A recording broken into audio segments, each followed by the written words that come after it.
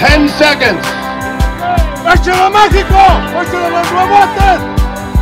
Runners ready. And off they go.